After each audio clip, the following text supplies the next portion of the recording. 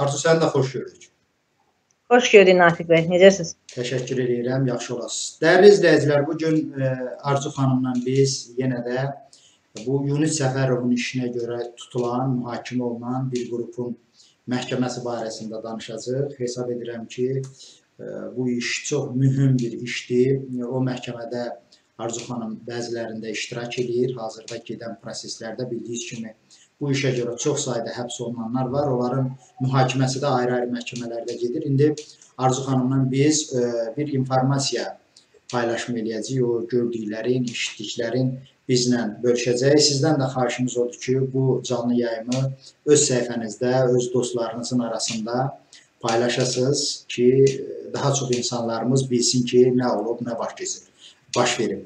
Yunus Səfərovun e, bu olayı e, bütün ölkəni silkələmiş, bütün regionu silkələmiş bir hadisədir və bu məsələyə görə tutulanlara da çox ağır ittihamlar verilib. Amma çox təəssüf ki, Azərbaycan hakimiyyəti bu ağır ittihamlarla mühakimə etdiyi insanları məhkəməsinin yarı qapalı şəraitdə keçirir. Formal olaraq məhkəmə açıqdır, amma orada jurnalistlərin iştirakına faktiki olaraq çoxlu maneələr qoyulur. Başqa müşahidə eləmək istəyənlərin e, iştirakına maneələr qoyulub. Halbuki mən hesab edirəm ki, bu cür məsələ əgər hakimiyyət özünə arxayındırsa və o ittihamların doğru olduğuna əmindirsə, televiziyalardan canlı verilməlidir, göstərilməlidir ki, o adamlar nə deyir, necə mühakimə olunur, ittihamlara münasibəti necədir. Amma bir dediyim kimi yarım qapalı proses keçirilir. Ölkədə də mətbuatın vəziyyəti bəllidir azad mətbuat demək olar susturulub və çalışan orada fəaliyyət Azərbaycanda fəaliyyət göstərən jurnalistlər də təqib təzyiq altındadır. Vəkillərə də imkan vermirlər danışmağa, deyirlər proseslərə mane olursunuz. Ona görə mən Arzu xanıma minnətdaram ki, bildiyi və yazdığı, gördüyü, qələmə aldığı informasiyaları bizlə bölüşür. Arzu buyur söz səndədir. Əvvəlcə başlayaq. Bir neçə gün bundan əvvəl məhkəmə prosesi keçirildi və orada e, mənim diqqətimi çəkən işgəncə faktlarından söz açıldı. Bunları xatırlat, kimin prosesi idi və hansı işgəncələrdən orada e, bəhs olundu.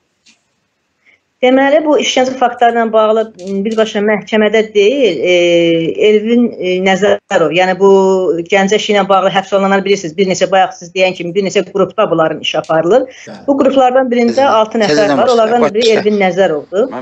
Deməli Elvin Nəzərovun e, e, ailəsi ilə görüşüb və e, ailəsinin verdiyi məlumata görə O başına gətirilən işgəncə faktlarından danışıb. Mən bu işgəncə faktları ilə bağlı Vətən Uğrunda saytında da məlumat vermişdim. Yəni doğrudan bunu oxuyanlar hamısı bir sözü deyir ki, bu dəhşətlidir. Yəni doğrudan mı bu bizim ölkəmizdə baş verir və 21-ci əsrdə yəni bunlar baş verir. Arzu o, ee, o təfərrüatına keçməmişdən əvvəl bir de, bilək e, e, Elvin hara sakinidir və harda tutulub və ona verilən ittiham nədir? Ondan sonra o, e, təfərrüatlarına keçin. Deməli, Gəncə hadisələri, bu Gəncədə icra hakimiyyətinin qarşısında bir e, qiyam, bir miting, fason bir şey olmuşdu, bilirsiniz də. Bəli, bəli, bəli. Yəni belə bir şou hazırlamışdılar. Gəncə hadisələri, bu Gəncədə işte ay iyulun 10-unda, 11-də deməli burada e, küçədən keçən, yoldan keçən bütün o nə qədər orada e, gördüklərin hamısını aparmışdılar. Yəni e, müvəqqəti saxlama e, adil aparmışlar. Onlardan da biri Elvinin dostu olub. Elvin Mingəçevir sakinidir, Elvin Nəzərov. Bəli. Və gedib ki, dostuna yemək aparsın, həm də ona maraqlansın. Gedib e, o Kəpəz rayon e, polis idarəsinə, orada onu saxlayıblar. Neçə yaşı var bu e, vətəndaşın və e, özü dindardırmı ümumiyyətlə? Elvin Nəzərov dindardır. Yəni belə e, konkret bir təşkilatın bir, bir üzvü deyil, amma sadəcə olaraq inanclı e, şəxsdir də. Yəni e, bu vaxtlı vaxtında ibadətini eləyir, xanımı da, ailəsi də inanclıdır bunlar. Saxlayıblar orada Kəpəz e, rayon deməli polis idarəsində. Onu həm Kəpəz rayon polis idarəsində, həm də e, Nizami rayon Gəncə hə. şəhər e, xanımın dediyinə görə Nizami rayon polis idarəsində işgəncələr verilib. Deməli, e, imkandan istifadə edeyim mən bəzi işgəncə faktlarını, bəzilərini, Elvin dediyi bəzilərini diqqətinizə çatdırmaq istəyirəm. Yəqin bu e, biz izləyənlər üçün də e, maraqlı olar. Elvin deyir, bəli, heç bir heç bir səbəb olmadan, heç bir səbəb göstərmədən bunu təhqir eləyiblər, salıblar otağa və deyir birinci gün qollarımı qandallayıb ayaqlarımın altına dubinka ilə var gücləri döyürdülər. Böyrəklərim və ciyərlərim dağılsın deyə dubinkanı o qədər möhkəm vururdular ki, huşumu itirirdim. Sonrakı günlərdə hər gün səhərdən axşama qədər məni döyürdülər. Huşumu itirəndə su tökürdülər üstümə, ayılırdım və yenidən döyürdülər. Bir gün məni rütbəli birinin otağına apardılar. Heç kəs də burada özünü təqdim eləmir və bunu döyən adamlar da üzünə maska keçirdir ki, bu nə vaxtsa bunları görəndə tanımasın. Eyni zamanda e, onlar maskalı olmayanda da bunun üzünə e, gözlərini bağlayırlar. Hətta deyir, mən ağzımı da bax skosa bağlamaq istəyirlər, qışqırmayım. Deyir, dedim, mən burnumdan nəfəs ala bilmirəm, məndə problem var. Amma mən səsimi çıxartmayacağam. Nə qədər döysəz qışqırmayacağam, amma ağzımı bağlamayın. Bağlasaz öləcəm. E, deyir, bəs bu bundan, deyir, bundan nə tələb olunurmuş? Nəsə bir izahat mı almaq, yoxsa etiraf edici bir ifadə almaq, yoxsa elə belə döyürmüşlər? Bu barədə məlumatımız var bizim. Sadəcə olaraq e, e, etiraf etdirmək istəyirmişlər ki, yəni bu güya bu e, bu mitinq hazırlanıb əvvəldən, yəni bu da gəlib burada mitinqdə iştirak edib belə bir şeylər. Sonra deyir mənə rütbəli adam məndən soruşdu, sənin övladın var? Deyirdim ki, bəli, övladım var. Deyir sən nə, nə sənin sən uşağında nə ola? Bunu təhqir edəndə e, Elvin də cavab verir və deyib ki, bunu hamıdan çox döyün, çünki bu mənə cavab qaytardı. Və buna dəhşətli işgəncələr verməyə başlayırlar. Deyir, Bəzən deyir yorulanda məni o pol ağacının sapı ilə döyürdülər. Hər yerimə vururdular. Bütün bədənim qanın içində və gömgöy idi. Və deyir bir dəfə deyir, e, iri əlləri olan adam döyənləri gətirdilər. Qulağımın pərdəsini partlatmaq üçün var qüvvələri ilə başıma və qulağıma zərbələr endirdilər. Ağzım, burnum qanla dolmuşdu. Qulağımın pərdəsi hələ partlamadığını görəndə iri kitabları götürüb başıma və qulaqlarıma yenidən zərbələr endirdilər. Mən huşumu itirdim. Huşumu itirənə qədər döydülər məni. Daha sonra bir nəfər gəlib deyib ki, bəs mən daha e, yaxşı variant bilirəm. O cür döyəndə e, ağrı çox olacaq, amma biz yorulmayacağıq. Deməli, sinənin bu hissəsində belə sümüklər var. Bu sümüklərə yumruq endirirlər, yumruqlar endirirlər. Yəni bunu qulağı eşidə-eşidə, bunu eşidə-eşidə bunu deyirlər ki, gəlin bəli, bunu yəni, bu şəkildə deyək ki, çox yorulmayaq. Bəli, bəli.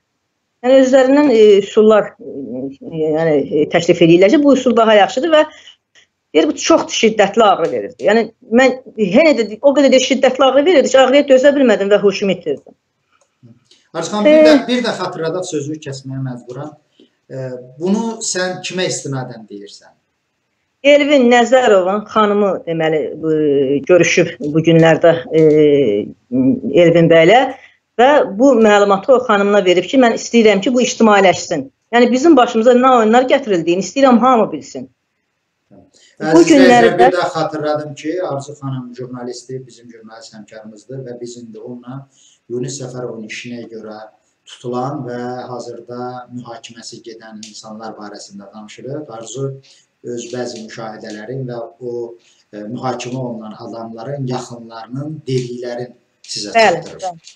Zəhmət olmasa siz də ə, e, əgər maraqlı bilirsə bu mövzunu paylaşın ki, daha çox insan eşitsin, bilsin. Buyur Arzu, söz səndədir. Bu günləri Sabunçu rayon məhkəməsinin növbəti proses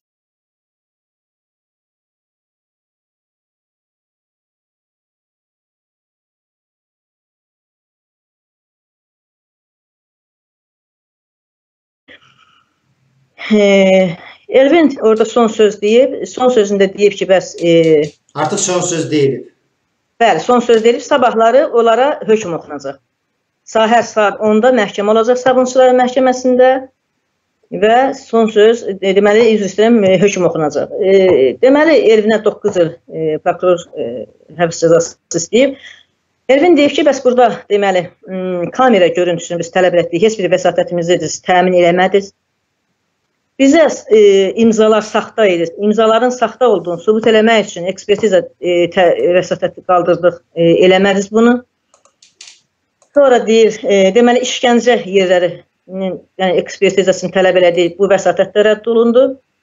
Yəni bizim verdiyimiz bütün vəsatətlərin hamısı rədd olundu. Amma siz heç bir dəlil olmadan, hətta bir dəlil olmadan, heç bir sübut olmadan 9 il həbs cəzası istəyirsiniz. Mən isə Allahdan bir şey istəyirəm.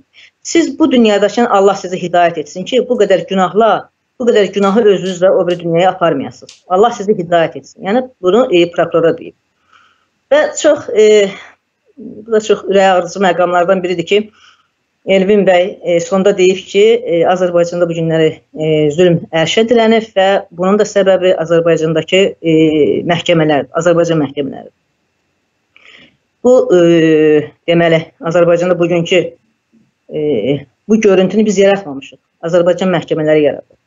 Yəni belə. Arzu, sənin əvvəl iştirak etdiyin prosesdə, proseslərdə bu Elvin var idimi, yoxsa o başqa qrup idi?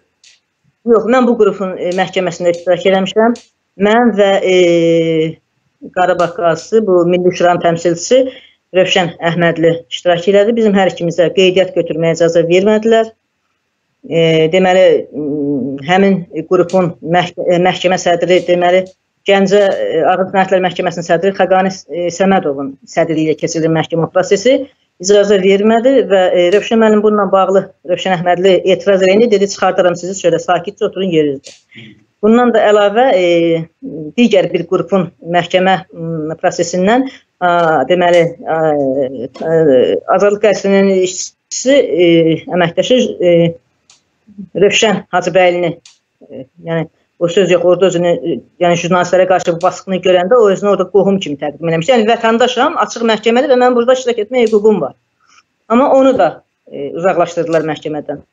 Yəni otaqdan çıxartdılar. Yəni belə. Arzu bu mühakimə olunanlar arasında formal da olsa e, öz günahını etiraf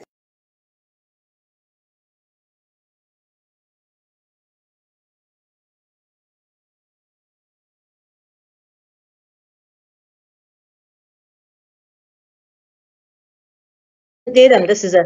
Elvin böyük dostu üçün yemək aparıb. Gedib ki, maraqlansın ki, görüm adam niyə həbs olunur? Bir baş çəkin buna tutublar. Biri var orada, deməli ki, hadisə başlamazdan bir saat əvvəl, hansı ki ona bu gün 10 il e, həbs cəzası istənilib. E, Neymət Heydərli. Yəni anası danışır, e, Minaya xanım deyir ki, e, bu hadisə başlamazdan, bu mitinq başlamazdan bir saat əvvəl bunu həbs ediblər. Təsəvvür edirsiniz və bunu iki ittihamla 10 il buna həbs cəzası istəyirlər. Yəni demək olar ki, heç biri yox, belə bir adam yox idi. Hətta mən orada fikir verdim, e, e, nədir o şahidlər gəlmişdi. Yəni şahidlər özləri də biri toydan gəlmişdi. Deyir mən içkili idim. Məni tutub apardılar. Ailəndə gördüm ki, polis idarəsində. Və mən orada başa saldılar ki, nə baş verib. Yəni belə.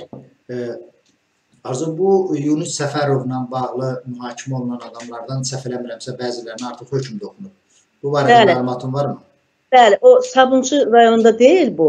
E, Gəncə e, rayon ağır cinayət, Gəncə şəhər ağır cinayətlər məhkəməsində ki, proses e, qruplardan birinin proses başa çatır və onlara 7-8 il müddətinə belə azadlıqla məhrum etmələr olur. Amma konkret onların e, yaxınlarının heç biri məsələni ictimailəşdirməyiblər. Yəni çoxlarının imkanı yoxdur çıxmaq mətbuata. İkincisi də ki, bunları aldatdılar son günə Bəs qədər. Mənim mənim elə e, sualım növbəti sualım onunla bağlı idi ki, diqqətli izləyicilərimiz də bilir. Sən keçən dəfə söhbətimizdə Aha. dedin ki, onların yaxınları bəzilərinin bu siyasi proseslərdən ümumiyyətlə başları çıxmadığından, belə hadisə ilə birinci dəfə qarşılaşdığından sanki şok içindədirlər, özlərini ifadə edə bilmirlər, amma dedin ki, bəziləri də ehtiyat edir, danışmaq istəmirlər. Bəli, bəli. İndiki Nasıl danışmaq sənə bu olan danışıq həm də onun göstəricisi sayıla bilərmi ki, bu adamlar artıq məhkəmədən əllərini üzürlər, yəni məhkəmənin ədalətli qərar verməsindən. E, Bu tərəfi də var, təbii. E, həm bu var, həm də bir şey deyim. Elə bax bunun özü Natiq bəy sübut eləyir ki, bu adamlar necə deyim, e, sıravi, inanclı, yəni necə deyirlər, başını aşağı salıb öz həyatını yaşayan adamlardır. Təsəvvür edin ki, bu adamlar adi e, jurnalistdən qorxurlar ki, gedib yazmayın. Bizə deyiblər ki, azadlığa buraxılacaq, işimiz yoxdur sizin uşaqlarla. Yəni bu qədər bunlar e, e, qorxaq deməzdim, yəni bu qədər e, məsum. Sadəlöv deyək, bəli, sadəlöv. Sadəlövdülər, yəni belə. Təşəkkür edirəm Arzu. Başqa informasiya varsa bizlə bölüşə bilərsən. E, ümid eləmək istəyirəm ki, bu ağır hadisə ilə bağlı Azərbaycanda biz gec-tez ədalət mühakiməsinin qurulduğunu görəcəyik. Yəni insan nə ilə, necə ağır cinayətlə maddəsi ilə ittiham olunmasından asılı olmayaraq onun şərəf və ləyaqəti toxunulmazdır.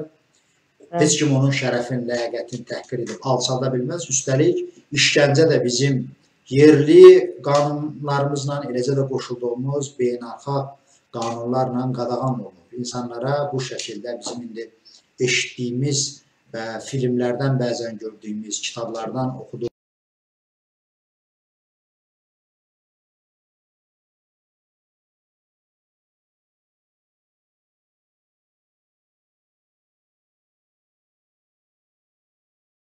ki, bu adamlara bu şəkildə işgəncə verilsin. Natiq bəy, e, çox sağ olun dəvətə görə e, imkan yaratdınız e,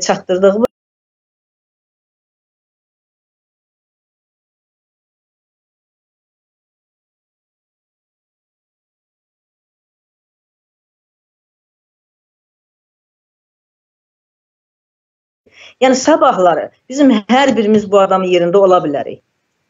Təşəkkür edirəm. Çox sağ olun.